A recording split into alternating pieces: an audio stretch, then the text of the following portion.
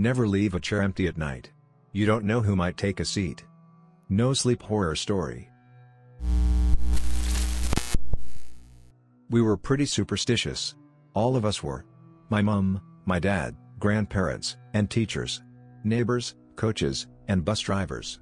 We lived our lives by many traditions that might seem naive and old-fashioned at first glance. There is a simple reason for us having them, though. We all lived fine and well obeying the communal gut feeling and it never disappointed as long as we listened to our sayings. Not all of them sounded as inherently disturbing as the empty chair of course. Some were just signs we looked out for. Like if there's a butterfly in your house, it means you will get visitors soon. Others were little tricks that could ease your life. Like if you want visitors to leave your home, a bit of salt poured into their shoes will do the trick. And some were, well, a bit disturbing, I guess. Like, if you lean over a railing, the devil will grab you and pull you towards the ground. That one we can't really fact check, unfortunately. As I said, there were many of those. Phrases they kept repeating so nobody will ever forget. And the one I've heard the most in my life happens to be the one about the chair. Never leave a chair in your bedroom empty at night. Dad repeated it every night like a prayer when I was still little. And mom would come by later in the evening to make sure I had a backpack, some books, or even just a jacket lying on my desk chair. It was the only one in my room. As I grew older they didn't need to remind me anymore, the phrase was deeply ingrained into my brain. I still heard mom's footsteps at night, though. I suppose she wanted to be really sure nobody would be taking a seat next to me at night. When I was younger, I didn't understand why this was so important to everyone I knew. To me, there was one simple solution to the whole hex altogether, simply not having a chair in your room. You don't really need it when you have your bed anyway, except for doing homework maybe. Unfortunately, however, removing the chair is not an option. And there's a reason for that too of course. As I said, superstitions are kind of our thing.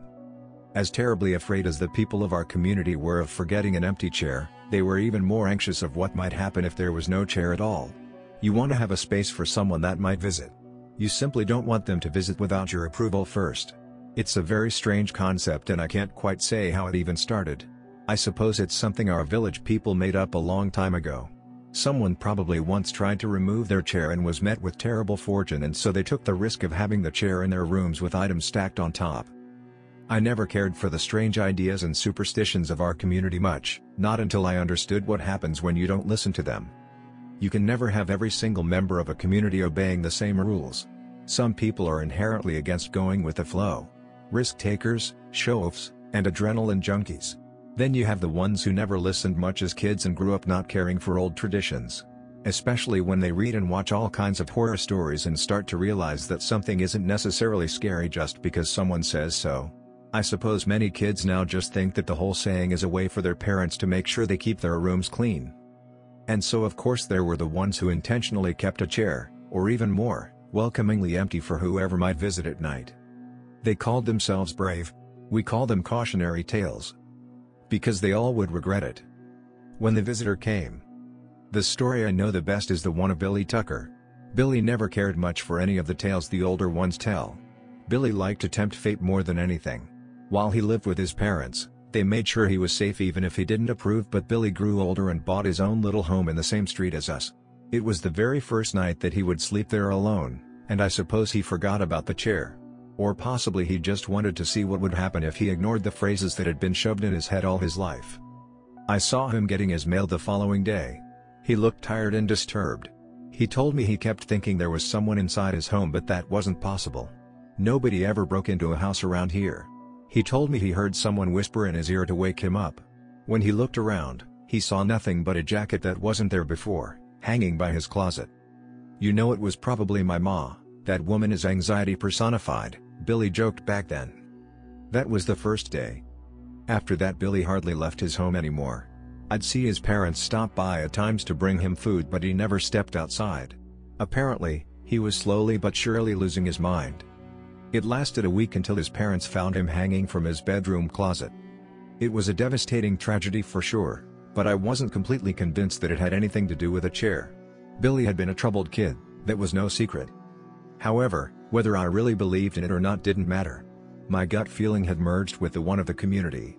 Whether I was afraid of the empty chair or not, as long as I lived in the strange village with all its rules and sayings, I would stick with them. even if it was just for the sake of my parents' mental health. And I did. All those years. Until I moved far away from the village. Living in a big city was far different than anything I'd ever imagined. I suddenly had a sense of freedom I never perceived before. At first, it was overwhelming, all the places I could go to and all the things I could do but after a while, I realized that this was exactly where I belonged. I found new friends, got a nice studio apartment, and a new sense of my own identity. But of course, the words I heard all my life stuck with me, even far away from our village.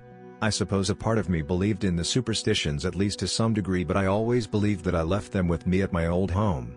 I didn't believe they would follow me. Not until the night. I came home rather late after drinking at the pub with a few friends. I could hardly keep my eyes open and went to bed pretty swiftly. With a last bit of consciousness, I heard the bag on the chair in my room slip to the ground. My gut kept telling me to go and pick it up but my drunken and tired mind said that everything would be fine. I should have listened to the gut. It was still pitch dark out when I woke up by the sounds. It sounded as if someone was moving inside my apartment. At first, I didn't register much. I guess for a moment I forgot that I lived alone. When the realization came to me, my eyes opened wide. My heart started racing and I had to control my breathing. I collected all my courage and quietly moved my upper body up so that I could inspect my surroundings. There was nobody there. At least as far as I could tell with the dim light shining through my window. To calm down my nerves I got up from the bed and turned on the lights. The good thing about a studio apartment is, there aren't many rooms where someone could hide. I checked behind the corner where my kitchen aisle, I checked under my bed and in the bathroom. There was no sign of someone being inside. Until I saw the coat rack. Most of my jackets are black so I didn't notice right away but there was a coat that didn't belong to me as well as a black top hat. My eyes moved to the ground and when I saw the big leathery shoes with dirt underneath them, my entire body started shaking. Hello? I called out into the empty room. There was no response. Of course, I called the police and they checked every single corner but there was not a single sign of anyone breaking in.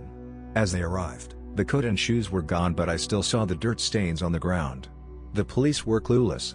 I'm not sure whether they thought I was insane or on drugs but finally, they left and I was alone again. A part of me wondered if I possibly dreamed it all up or if I mixed up the coat with one of my own but in the end, I knew I was just lying to myself. Someone had been in here and it was my own fault for leaving the chair empty. I figured there was one simple solution to my problem, so the following evening I made sure to stack enough items on top of the chair to make sure nobody would even think about taking a seat in there. It seemed like a decent plan considering the ridiculous superstition I was following. I didn't realize however that there wasn't going back after you messed up once. That's what happened to Billy. On the first night, you question the act. You can't believe that there could be anything true to that old saying and how could it? You make yourself completely paranoid. The following night I was still confident. At least to some degree. The fear was still very much present but I believed to have a solution. I had books and clothes stacked upon my chair and after a couple of hours of tossing in my bed, I managed to fall asleep. What you don't realize is the effect the visitor has on you. It starts nibbling on your mind. If you invite it inside once, it learns your scent and it will continue coming back each night. No matter where you go or if you stay up all night. It won't stop. Until your mind can't take it anymore. I knew that. I'd heard all the stories, I just never believed how cursed we truly were. That night, I woke up by the sound of the whisper. The words made no sense to my mind but they were near and felt thoroughly unkind. A hand was grazing my face but when I opened my eyes, there was nobody to see. The next day, I thought about staying with a friend but I was afraid I might burden them with the same fate. If it followed me. So, I got a hotel room instead. I woke up when I heard a hollow laugh. It didn't stop until the sun came up again. For days I didn't sleep. Wherever I went I knew it was there with me, chewing on my mind and swallowing my free will. As the days progressed, the whispers became clearer. It was as if it was pulling me over to a side where we could communicate. A side where I could make sense out of its words. Come with me. You won't be missed. Your choice has already been made. The voice was omnipresent. It kept whispering and laughing until every moment of my life was drained in the color of nothingness. I didn't eat. I didn't sleep. I didn't feel. I was just afraid that if it pulled hard enough, I wouldn't be able to come back. Just like Billy. We were pretty superstitious. All of us were. We all lived fine and well obeying the communal gut feeling and it never disappointed as long as we listened to our sayings. I thought about that when every other thought in my mind stopped making sense. I thought about the things I was told ever since I was a child. The words that might even be able to help your life. Like if you want a visitor to leave your home, a bit of salt poured into their shoes will do the trick. It was a long shot but the visitor was always polite enough to leave its shoes and coat by the door.